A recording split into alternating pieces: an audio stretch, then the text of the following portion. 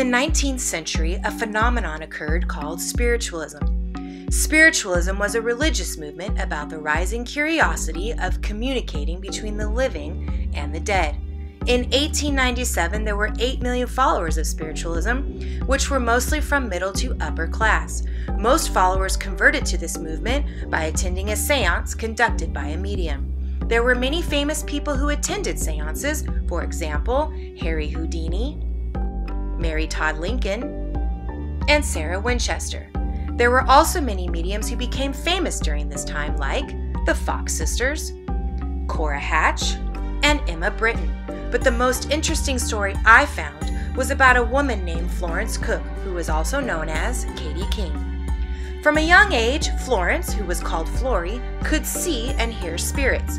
She had many experiences that would lead her into the direction of seances.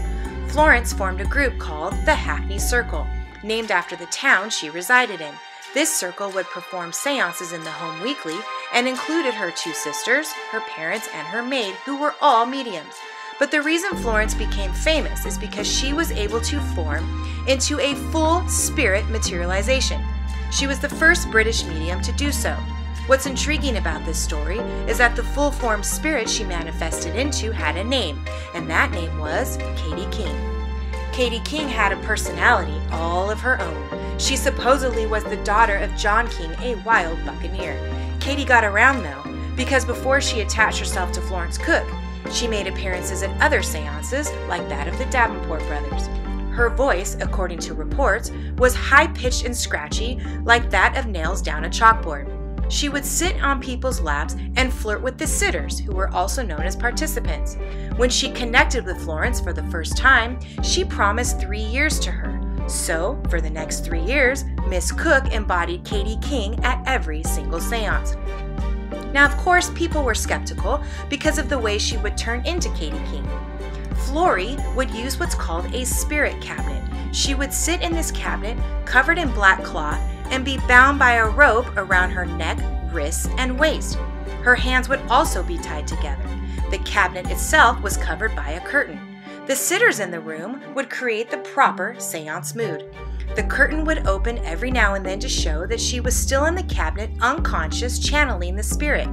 About 30 minutes in, the curtain would open and a figure dressed all in white would emerge. This was Katie King. She would walk around and chat with the people, all while being completely solid.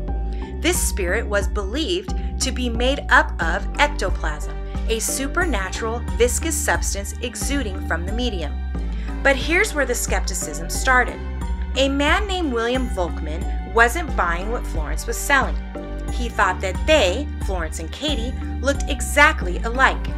In anger, he grabbed the spirit by the wrist, announcing that she was Florence in disguise.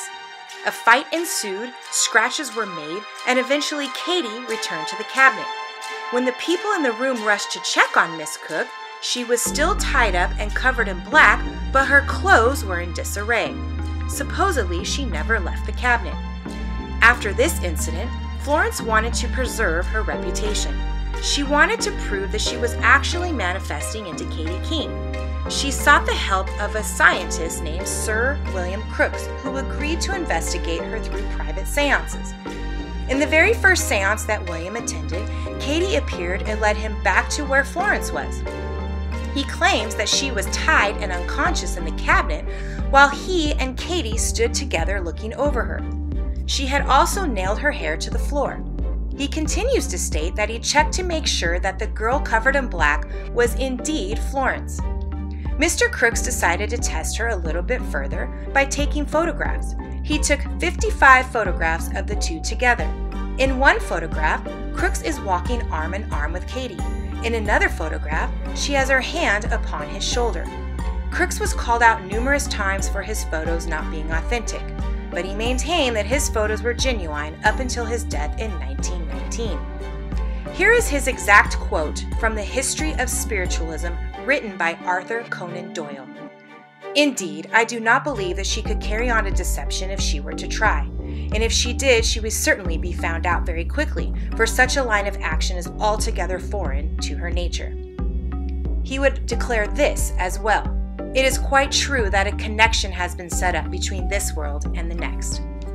At the end of three years, Katie left Florence to never return to her again. Miss Cook got married, becoming Miss Corner, and left mediumship for six years. When she decided to come back, she manifested into a new spirit called Marie. And again, skepticism returned, but this time from a man named George Stilwell. At one of the seances, he grabbed the spirit Marie and held onto her while another person ran over to the cabinet and moved the curtain. Florence was not in there this time. This caused her reputation to be put into question once again. Were they the same person? More than likely. Then who was the girl in the cabinet when she was turning into Katie? Was it one of her sisters, her mother, the maid? And was Dr. Crookes in love with Florence, as rumors stated, and that's why he says she passed with flying colors? So many questions that will probably never get answered to such a complicated story. Unfortunately, Florence's last seance was in 1899 and she died in 1904. Even after her death, Dr. Crookes always defended Florence. He said this about her We trust that the certain belief that our loved ones, when they have passed over, are still watching over us, a belief which owes so much of its certainty to the mediumship of Miss Corner or Florence Cook, as she will always be in our memory and console those who are left behind. Dr. William Crookes went on to discover thallium and work with vacuums, which led to the discovery of cathode X ray tubes. Up until his death, though, he always had to defend his position about investigating Florence. And what about Katie King? Well, she reappeared at another seance in 1903 with Dr. Glen Hamilton and in Rome in 1974. So, who was Katie King? Was she a real spirit who liked to flirt with the living, or a made up spirit who just made someone like Florence famous? My belief is when you mix the living and the dead, the expectation and the hope makes it all believable. What do you believe?